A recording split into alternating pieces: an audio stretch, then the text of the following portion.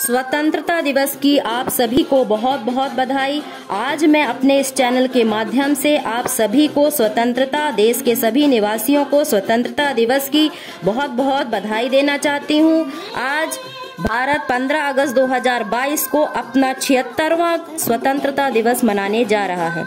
इसी दिन 1947 को भारत से ब्रिटिश शासन का अंत हुआ था और स्वतंत्र भारत की स्थापना हुई थी। 200 वर्ष 200 वर्षों तक अंग्रेज़ों ने हम भारतीयों पर राज किया।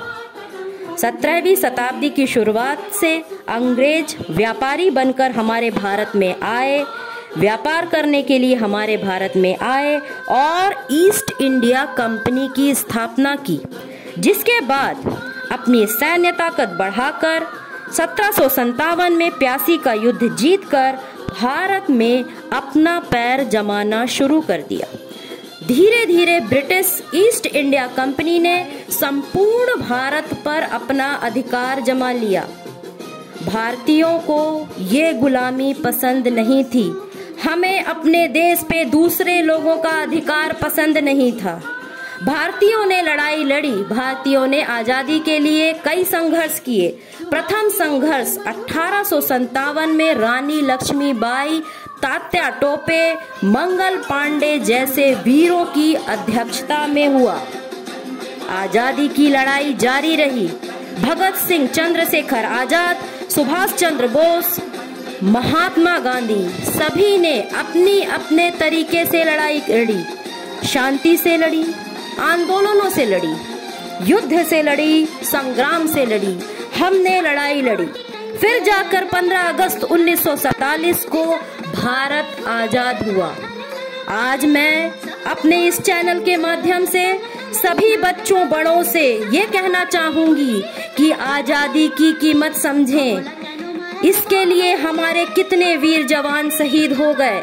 आज हम जो स्वतंत्र भारत में सांस ले रहे हैं, ये सब उन्हीं की कुर्बानी से है।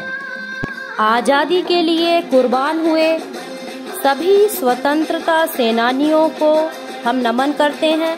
मैंने अपनी स्पीच में 200 वर्ष का ज़िक्र किया कि 200 वर्षों तक अंग्रेज़ों ने हम पर राज किया।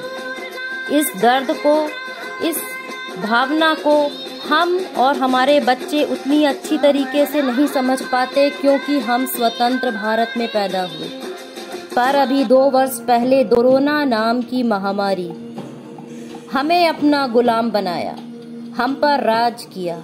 हमारी आज़ादी छीन ली। आज बच्चे पूछते हैं, आज़ादी क्या है? तो मैं कहती हूँ, पहले तुम्हें हर समय मास्क लगाना पड़ता था। बाहर तुम नहीं निकल सकते थे, खेल नहीं सकते थे, स्कूल नहीं जा सकते थे, दोस्तों से नहीं मिल सकते थे। ये दो वर्षों की बात मैंने उनको बताई।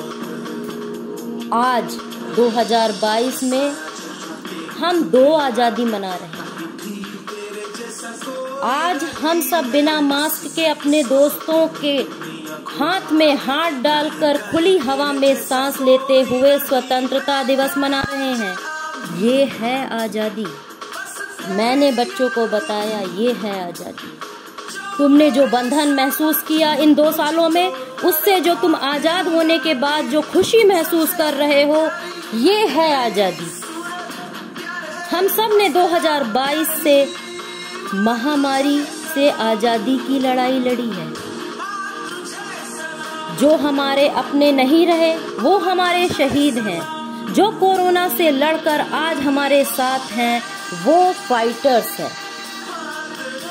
हम सभी ने इन दो सालों में कोरोना के साथ संघर्ष किया।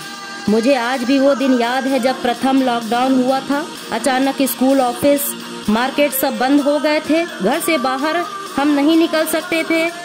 वो दिन याद है हमें, जब सबने एक साथ मिलकर अपने घरों की बालकनी में आकर अपनी छतों में जाकर घंटे बजाए थे, थाली बजाई थी और दूर से एक दूसरे को देखकर सांत्वना दी थी कि हम सब साथ हैं, इस लड़ाई में हम सब साथ हैं, दूर होकर भी हम एक साथ हैं, तब हमारे अंदर भी एक फाइटर था।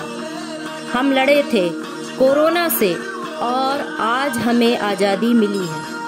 उस समय बाहर देखो तो पार्क था पर लोग नहीं थे, बच्चे नहीं थे। झूले थे पर बच्चे नहीं थे। मंदिर था, भगवान थे पर भक्त नहीं थे। स्कूल था पर स्टूडेंट्स नहीं थे। एक अलग ही खामोशी थी, एक अलग ही सन्नाटा था। हम उससे लड़े और आज 15 अगस्त 2022 को हम दो आज़ादी मना रहे हैं। आज़ादी क्या है? आज़ादी की कीमत क्या है? यह सब हम बहुत अच्छे से समझ चुके हैं। फिर से एक बार आप सभी को स्वतंत्रता दिवस की बहुत बहुत बधाई। जय हिंद, जय भारत। मेरा भारत महान। धन्यवाद।